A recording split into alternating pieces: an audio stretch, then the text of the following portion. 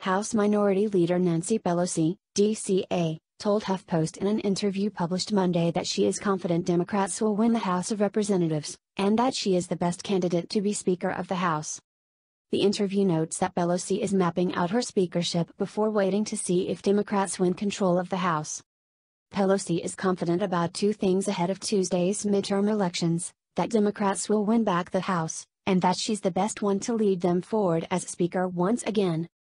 I know the territory, Pelosi said in a recent interview, between bites of a chocolate gelato waffle cone in a suburban Maryland cafe. And I'm really good at what I do.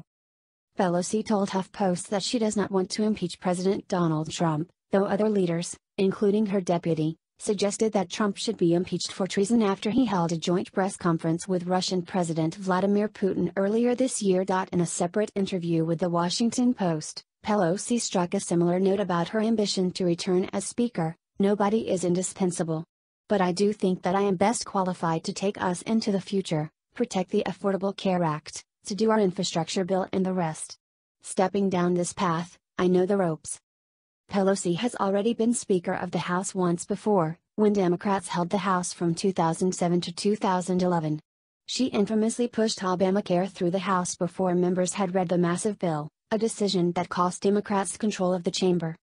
But Pelosi ruled her caucus with an iron fist, even in the minority, and remains one of the party's most prolific fundraisers, funneling cash to candidates across the country, ensuring that almost every candidate who wins owes her political allegiance. She told HuffPost that she considers criticism of her age, she is 78, to be sexist.